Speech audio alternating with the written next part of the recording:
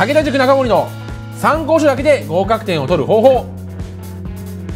はいそれでは今回は、えー、京都工芸繊維大学の、えー、入試について話していきたいと思います、えー、京都工芸繊維大学ですが、えーまあ、平成30年の入試からですねちょっとあのえー、学域、まあ、学域ですね、の再編が、えー、行われまして、まあ、ただ経過措置、えー、があって、まあ、入試の科目だったりに関しては大きな変更はないと。まあ、31年度からは、ちょっとその、もともとバラバラだった頃をくっつける、まあ、デザイン、えー、建築の部分がちょっと、えー、2つの部分がくっついて、まあ、入試方式が統一されるってことにはなる、えー、みたいですが、まあ、30年の、えー、入試に関しては特にそこは、えー、問題なくできるという形でした。特に変更はないということですね。えー、そして、えー、こちらの、えー、大学ですが、センターのボーダーが、えー、大体まあ6割前半から6割後半、こちらまあ、あの、学域によって変わるという形ですね、えー、になっています。で、2次の配点が基本的に高め、まあ、半々ぐらいの、えー、ところもありますが、大体の、えー、学域に関しては、まあ、ちょっとセンターよりも2次の方が高くなると。